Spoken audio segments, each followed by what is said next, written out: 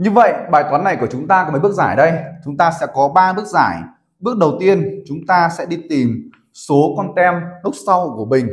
Bước 2 chúng ta sẽ đi tìm số con tem ban đầu của Bình và bước cuối cùng bước 3 chúng ta đi tìm số con tem ban đầu của An. Xin chào các em, trong video ngày hôm nay thầy sẽ cùng các em chúng ta đi học về dạng toán tìm hai số khi biết tổng và hiệu với dạng số 2 đề bài cho biết tổng nhưng ẩn hiệu. Chúng ta có bài toán như sau. An và Bình có tất cả 89 con tem. Nếu như An cho Bình 5 con tem thì An vẫn nhiều hơn Bình 3 con tem. Đề bài hỏi ban đầu thì mỗi bạn có bao nhiêu con tem? Đọc đề bài này thì chúng ta dễ dàng phát hiện được ra đề bài cho biết tổng của An và Bình bằng 89 con tem. Chúng ta đọc thấy đề bài này có từ nhiều hơn này, phân tích có từ nhiều hơn.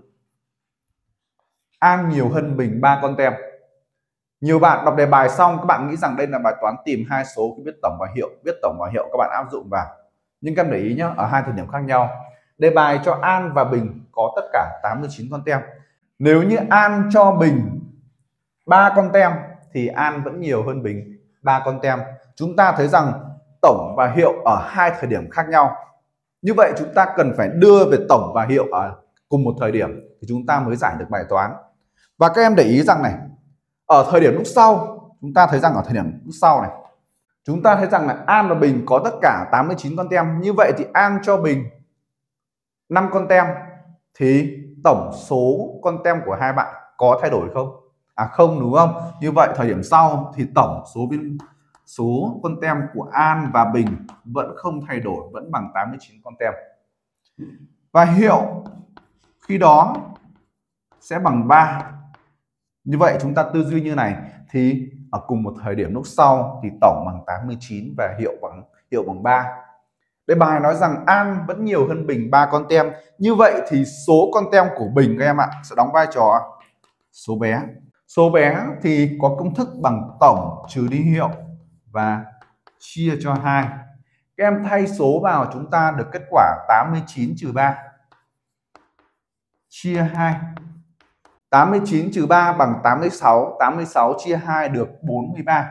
Nhưng đề bài đang hỏi lúc đầu mỗi bạn có bao nhiêu con tem và chúng ta phải đi tìm số con tem ban đầu của Bình. Đây là số con tem ở lúc sau các em nhé. Số con tem ban đầu của Bình. Chúng ta thấy rằng này, Bình được cộng thêm 5 con tem vào thì Bình mới được 43 con tem. Như vậy ban đầu của Bình sẽ có 43 trừ đi 5 và kết quả bằng 38 con tem. Biết số con tem của Bình rồi, các em có tính được số con tem của An không? À, chúng ta sẽ tính được số con tem của An sẽ bằng tổng số con tem của hai bạn 89 trừ đi số con tem ban đầu của Bình 38 và chúng ta được kết quả bằng 51 con tem. Như vậy bài toán này của chúng ta có mấy bước giải đây?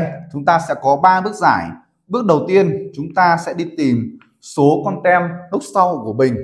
Bước 2 chúng ta sẽ đi tìm số con tem ban đầu của Bình sẽ bằng 43 trừ 5 bằng 38.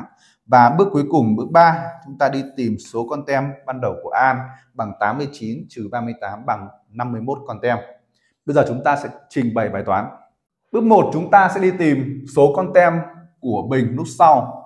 Chúng ta thực hiện phép tính 89 trừ 3 đóng ngoặc, chia 2 bằng 43 đơn vị con tem.